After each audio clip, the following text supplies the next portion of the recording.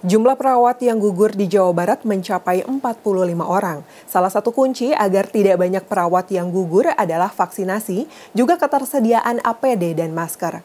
Pemantauan kerja perawat pun perlu terus dilakukan agar terjamin kesehatan dan keselamatannya. Tenaga kesehatan termasuk perawat selalu bertugas di garis paling depan selama menghadapi pandemi. Data Persatuan Perawat Nasional Indonesia atau PPNI mencatat di Jawa Barat ada sekitar 80 ribu perawat. 5.200 di antaranya pernah terpapar COVID-19. Namun kondisinya kini 90 persen sudah pulih kembali. Sementara itu, ada 45 perawat meninggal saat bertugas. Meskipun demikian, jumlah itu menurun drastis semenjak pemberian vaksin COVID-19. Sejak bulan Januari hingga akhir bulan Mei lalu, tiga perawat gugur di Jawa Barat sementara 42 perawat lain gugur pada masa sebelum ada vaksin di tahun 2020. Penyebab lainnya adalah sulitnya mendapatkan masker dan alat pelindung diri pada masa awal pandemi.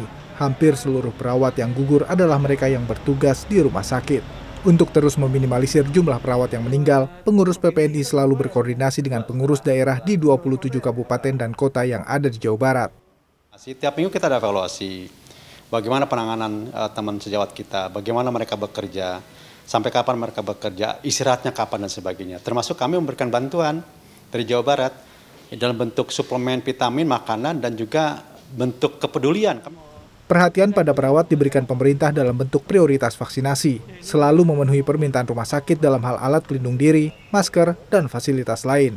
Tempat menginap untuk nakes, ya kita di Bandung masih masih adalah satu apa satu tempat ya untuk menampung uh, para nakes agar mereka apa bisa bisa tinggal dengan dengan nyaman ya. Kemudian ya tentunya bikin imun mereka juga kuat. Di Indonesia total perawat yang gugur mencapai 290 orang.